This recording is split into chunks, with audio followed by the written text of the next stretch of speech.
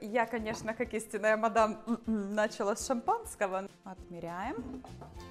Взбивать нужно так достаточно долго. Этот кекс на меня произвел, ну прям вау-эффект. Визуализируем, что мы туда добавляем много воздуха и пышности. Одной бутылочки маловато. Предлагаю открыть еще одну розовую. Открываем.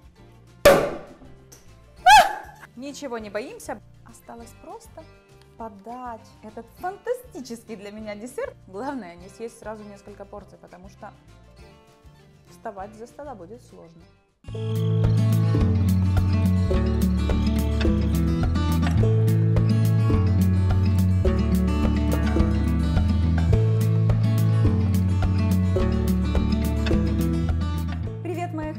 С вами я, Юлия Бенкендорф, ваш фудгид, и если вы смотрите это видео, значит вы хотите научиться готовить вкуснейшие девичьи десерты с шампанским, и я вам в этом с удовольствием помогу, но сперва поставьте лайк этому видео, подпишитесь на мой канал, если вы этого еще не сделали, а также отметьте колокольчик, чтобы не пропускать новые видеорецепты.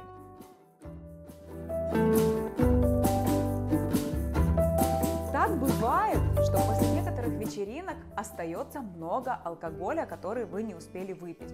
Конечно же, такие алкогольные напитки, как вино, а, я не знаю, там, коньяк, их можно сохранять и даже после открытия бутылки. Но что же делать с шампанским?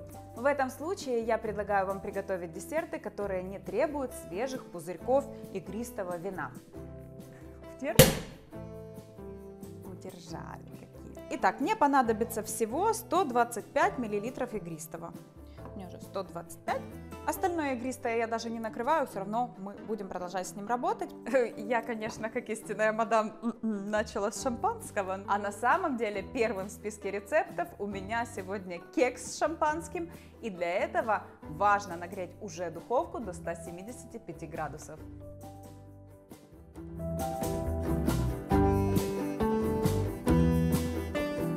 Берем миску. Теплое сливочное масло. У меня здесь 200 грамм. Что значит теплое? Это я достала масло сливочное на ночь из холодильника, оставила просто при комнатной температуре. И вот, смотрите, какое оно нежное и мягкое получилось. И его нужно слегка подбить миксером. Добавляем 180 грамм сахара. Подбиваем.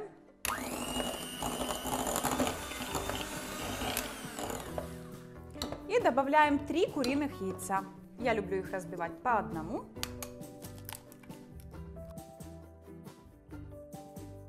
Еще добавляем ванильный сахар, здесь примерно 8 или 10 грамм. И щепотку соли. Масло по стенкам обязательно нужно собрать и соединить все вместе, чтобы весь сахар перебился, все масло равномерно перетерло сахарок. И взбивать нужно так достаточно долго, а, вот прям пока не увидим, что сахар у нас начал расходиться, чтобы сахар не а, утяжелял кекс и не падал на дно.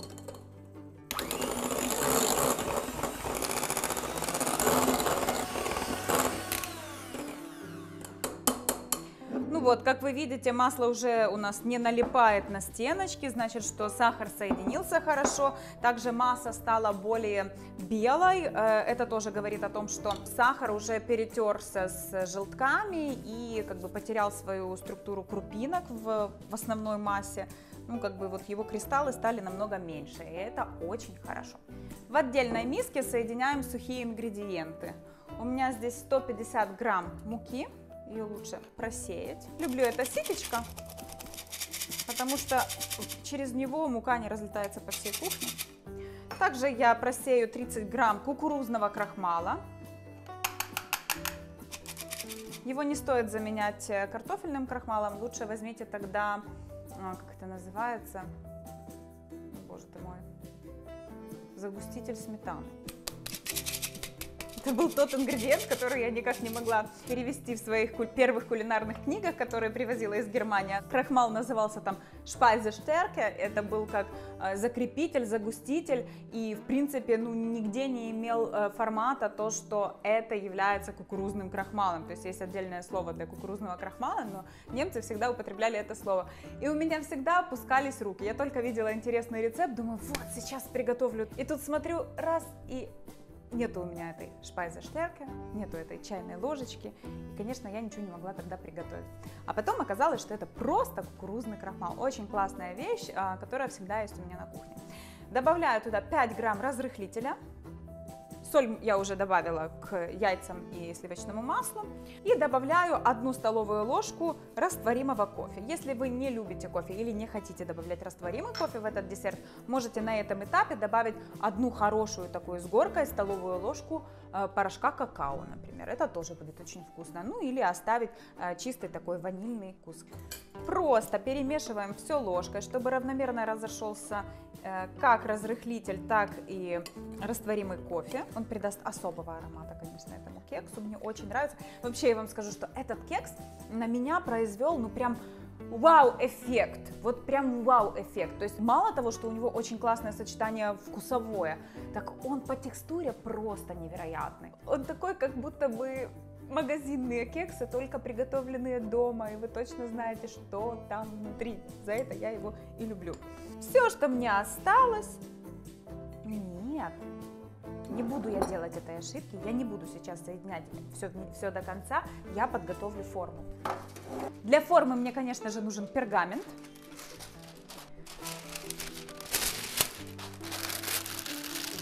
Вот так вот, придерживая одной рукой дно, я выворачиваю краюшки переверну вам другой стороной и повторю процедуру.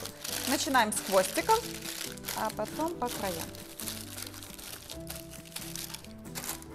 Кекс э, прикольный еще тем, что не нужно смазывать ничем форму, потому что он имеет достаточно много сливочного масла, и поэтому не налипнет э, в форме. Э, кстати, да, возникают вопросы, вы мне задавали вопрос по поводу того, какой пергамент должен быть. Я никогда не задумывалась об этом, честно говоря, потому что уже много лет пользуюсь одной и той же пергаментной бумагой, но оказалось у меня именно просиликоненная пергаментная вот, наверное, поэтому мои кексы и хорошо достаются из формы. Далеко не убираем. Подобью чуть-чуть э, еще сливочное масло, буквально капулю. Визуализируем, что мы туда добавляем много воздуха и пышности. Ну, конечно, самую пышность нам придаст разрыхлитель, который у нас в сухих ингредиентах разошелся равномерно. Соединяем все так вот легко и просто. Не включая миксер, делаю вот такие вот провороты. Все прекрасно у нас застряло, ничего, встряхнем. И добавляю 125 миллилитров обычного игристого. У меня полусладкое оказалось. Ну, неважно. Можете брать спокойно и сухое, здесь сахара достаточно много. И 100 грамм э, ореховой крошки, это ореховая мука у меня. Здесь микс фундука и миндаля, можете взять обычную один вид какой-то муки, или же взять орехи и перебить их в крошку. Мне кажется, классно сыграет здесь кешью, но грецкий орех э, стоит предварительно очистить от кожуры, потому что ну, кекс будет слегка горьковат. Он тогда а, не проявит вот этот вот э, прикольный привкус шампанского. И все взбиваем до однородной массы.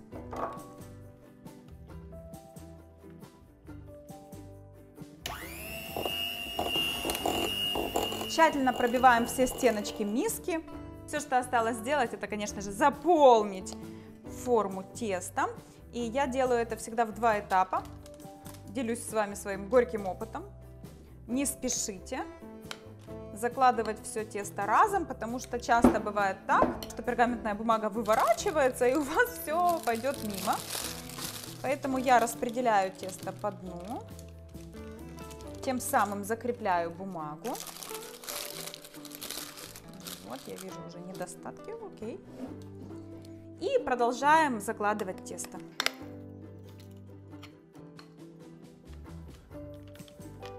Уже вкусно. А после запекания в духовке на протяжении 60 минут при температуре 175 градусов это вообще будет шедеврально.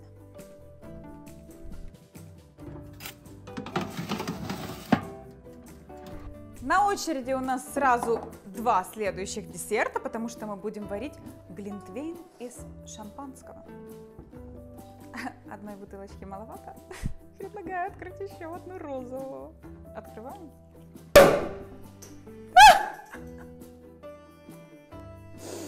Эм, ну, так бывает, да. Но ничего, никто не пострадал. Все хорошо. А, вообще, эм, открывание шампанского – это лотерея, которая, да, поднимает настроение в лучшем случае. Итак, мне понадобится 750 миллилитров розового шампанского. Можно взять, конечно, и белое, игристое, короче, какое у вас есть, не обязательно свежеоткрытое, но сегодня получилось так. Заливаю его в кастрюлю. Ничего не боимся, боимся только того, что может убежать пенка. Но это не страшно. О, ура! Ничего никуда не убежало. И мне нужно отмерить 400 миллилитров э, белого игристого. Итак, 400 миллилитров белого игристого. Оп. А дальше мы будем варить э, глинтвейн. Для этого мне понадобятся специи. Начну с розового игристого. Здесь все предельно просто. Мне нужно будет две штучки кардамона, их лучше растеребить, чтобы они быстрее открыли вкус. Потом мне нужно 4 горошинки черного перца, просто чуть больше, ничего страшного. Одна звездочка аниса, красота. Две гвоздички, кто любит, две горошины душистого перца и одна палочка корицы. Лучше ее разломать. 8 грамм ванильного сахара. Ух, красота. 2 столовые ложки обычного сахара, несмотря на то, что шампанское у меня полусухое, все равно я хочу добавить чуть-чуть сахара. И цедра апельсина, вот так вот грубо я снимаю ее овощечисткой. Можно было бы добавить еще и сок апельсина в данный десерт, но я обойдусь сегодня так. И это все я буду заваривать на огне. Повторяем то же самое с игристым белым вином, но э, я предлагаю не добавлять в этот десерт корицу, так как корица может изменить цвет э, нашего глинтвейна. А я хочу, чтобы именно белый вариант остался светлым, для чего вы узнаете попозже. Но, конечно же, у меня здесь только 400 мл вина, поэтому я буду добавлять один кардамон, 2 горошины черного перца, половину звездочки бадьяна, одну гвоздичку, один душистый перец и один слайс цедра апельсина. Одну столовую ложку сахара, но ванильного сахара я предлагаю оставить 8 грамм.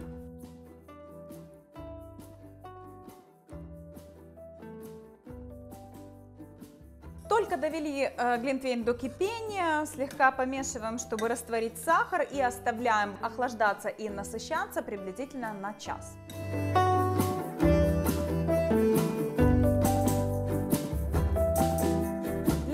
Шампанского мне нужен желатин. Всего у меня здесь 20 грамм. И горячая вода в пропорции 1 к 6. То есть, э, если у меня 20 грамм желатина, мне нужно 120 миллилитров воды или грамм воды. Воду стоит закипятить в чайнике, и как раз пока вы замеряете желатин, она охлаждается примерно до температуры там, 80 градусов, чтобы не была совсем-совсем кипятком. Начинаю заливать и взвешивать 120 миллилитров. Отлично. Перемешиваю все вилочкой. У меня быстро растворимый желатин. Есть разные способы работы с желатином. Можно также соединить его с водичкой холодной и импульсами в микроволновке по 2-3 секунды. То есть импульс это вы включили, считаете раз, два, три. Выключили, достали. Опять запускаете. Раз, два, три достали и э, периодически помешиваете этот желатин, он тоже будет хорошо растворяться. Я не люблю замачивать желатин холодной водой, мне это не нравится, все равно в нем есть комочки. Вы сейчас тоже видите комочки, но это не страшно, оставляем чуть-чуть его в сторонке остыть, главное не на холодной поверхности, потому что он начнет уже застывать снизу. То есть обычно вот на кухне, на столешнице оставляем, периодически заглядываем и помешиваем. Если же случится так, что вы ушли слишком далеко, забыли про желатин, не проследили, и он начал застывать, импульсы в микроволновке вам в помощь. Водяная баня, как по мне, это лишнее. По крайней мере, с современным желатином так работать не стоит. Никогда он у меня не умирал, сколько я десертов на желатине не делала. А, да, у меня здесь еще есть 7 грамм желатина, но это нам понадобится чуть позже.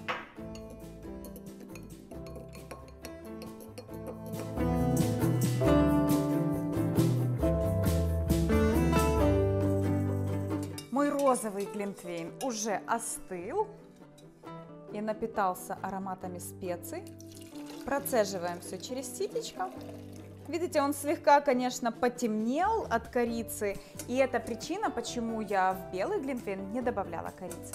Дальше все безумно, безумно, безумно просто. Мне нужен зип-пакет, можно было бы, конечно, залить его и в форму, но желательно такую большую и плоскую, чтобы легче было ломать кусочки и порционно готовить сорбет после заморозки. Я же люблю пакетик. И смотрите, что я делаю потом. Вот соединяю пустые краешки, выпускаю воздух и закрываю. Дальше важно, прежде чем отправить пакет с глинтвейном в морозильную камеру, важно подготовить досточку, которая помещается у вас в морозильной камере, чтобы глинтвейн не заморозился какой-то закорлючкой и вот, особенно в таком виде его будет сложно разломать на маленькие порции. Отправляю в морозильную камеру на несколько часиков до полной заморозки. А я к вам почти как великий Гэтсби с бокалами для шампанского. Конечно же, узкие бокалы под э, желе шампанского не очень хорошо подходят, неудобно будет его потом есть. Как вы видите, желатин у меня разошелся идеально, без микроволновки даже. Процеживаем белый глинтвейн. И просто добавляем туда растворенный желатин. Перемешиваем. В зависимости от того, сколько желатина вы добавите, вы получите либо плотный, либо такой более нежный десерт. У меня э, желе будет средней плотности, не такой нежный, как панакота, но и не совсем мармелад. Хотя и мармелад шампанского тоже очень вкусный. Разливаю по формочкам.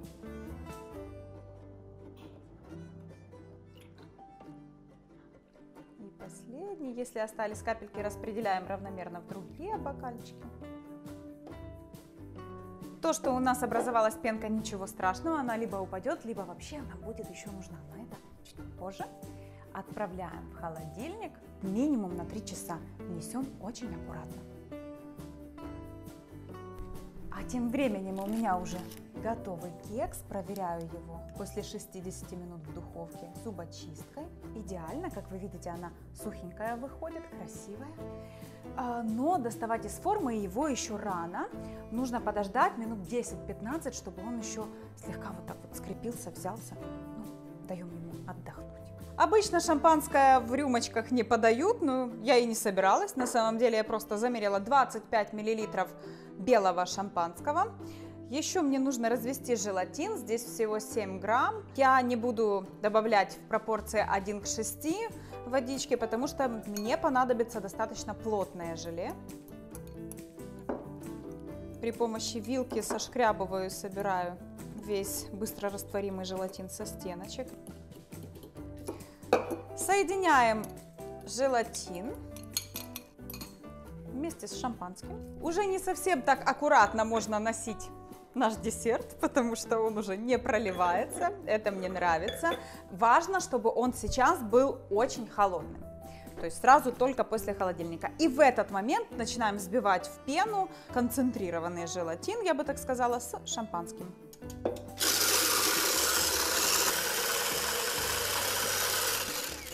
Как вы видите, я делаю это слегка под уклоном. Наша главная задача это максимально насытить желе воздухом, чтобы у нас образовалась пенка.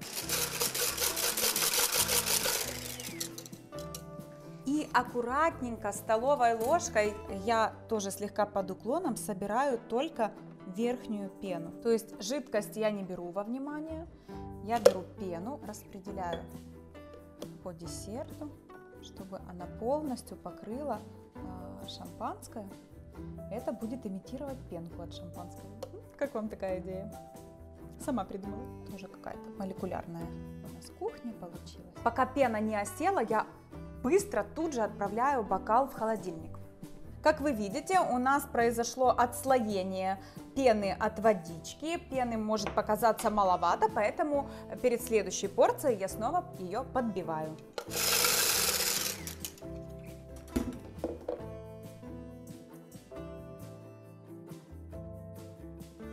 Холодильник. Самое время достать кекс из формы.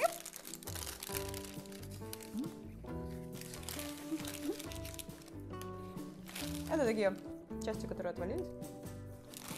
Пробники для меня. М-м-м. Изумительно вкусно. Вообще. Это очень фантастически вкусно. Надо присыпать его сахарной пудрой. А сахарная пудра у меня, как всегда, подписана, чтобы не перепутать ее с крахмалом или содой. Они у меня рядом стоят.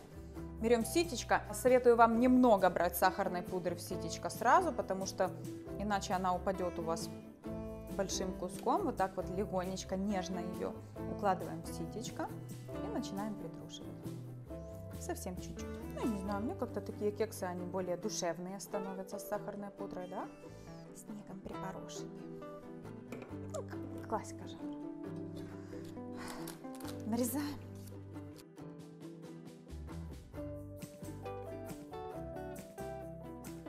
Смотрите, какая красота получилась. Снимем пробу. Вот такой вот он. Очень нежный. Даже слегка влажный внутри. За счет шампанского, которое мы добавили. Кстати, достаточно хорошо чувствуется. Поэтому, если вам встречаются люди, которые говорят, мы не пьем алкоголь, можете предложить им его съесть. Поехали дальше. Тадам, уже подмерз сорбет за счет того, что он был плоским, тонким. Смотрите, какой классный. Ломаем на кусочки. Это можно сделать и порционно, например, приготовить только одну порцию сорбета. Он ломается достаточно легко, потому что там есть сахар, это не чистая замерзшая вода.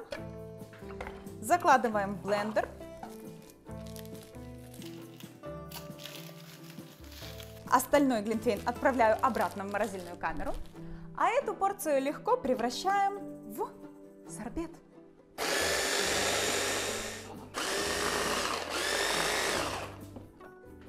Помогу немножечко ложкой. Кстати, этот рецепт у меня от Сергея Шелестова. Это прекрасный украинский повар, у которого слегка извращенный вкус сочетаний, так же, как и у меня. Мне это очень нравится, потому что именно такими блюдами, с простыми техниками, но с особенными изюминками, как, например, привкус специй, можно удивлять гостей.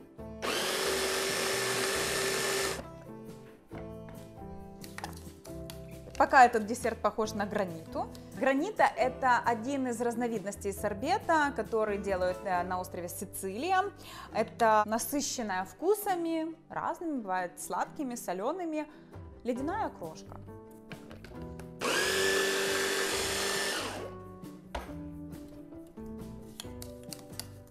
Уже э, вы можете увидеть, что снизу у меня уже получился сорбет, а сверху еще осталась крошка, подминаем. Да, с маленькими блендерами так бывает. Это очень классно. Кстати, интересный рецепт граниты вы можете найти в моей интерактивной кулинарной книге «Магия трав». Это не просто кулинарная книга, а сборник моих самых любимых рецептов с вашими самыми любимыми травами.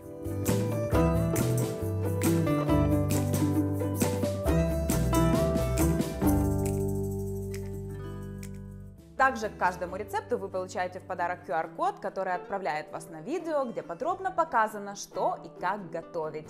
Ссылка на покупку книги в описании этого видео. Перебивая сорбет, советую вам делать такие вот тоже маленькие наклоны, чтобы видеть, что нижняя часть начинает поднимать верхнюю, а это значит, что э, внутреннее наполнение уже становится гомогенным, без комочков.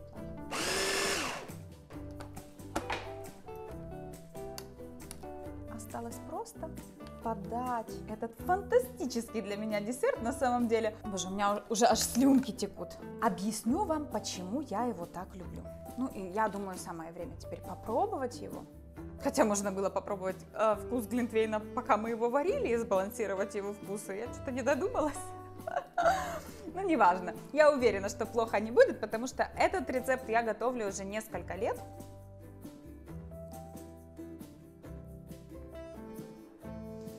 Знаете, для меня этот десерт какой-то абсолютно крейзи, потому что когда я ем сорбет, мне кажется, вау, сейчас будет что-то холодное, будет лето, а когда он оказывается у вас во рту, ваш мозг начинает чувствовать абсолютно все ароматы зимы и Рождества.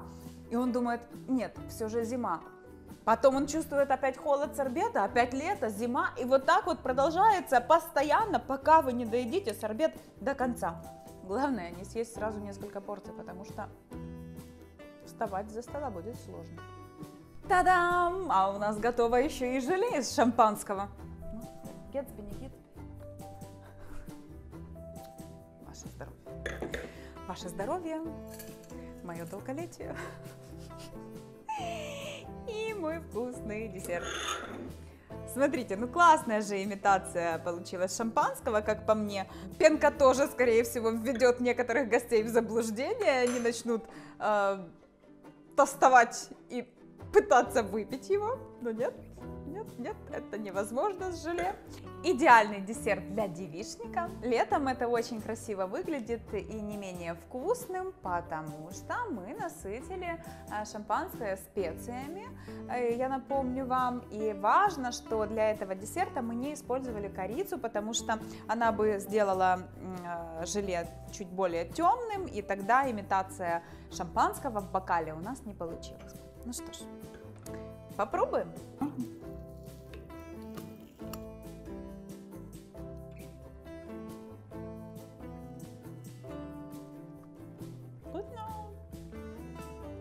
Кстати, это желе можно также готовить на агар-агаре. Между прочим, сейчас достаточно популярные десерты в Киеве в виде конфет-мармеладок на агар-агаре или на желатине алкогольных. Стоят они бешеных денег. Можно сделать подобное желе и в формочках, э, добавить чуть больше желатина, чтобы они держали форму, были плотные, но стаканы найдутся в любом доме. Тем более выглядит это, как по мне, прям вау.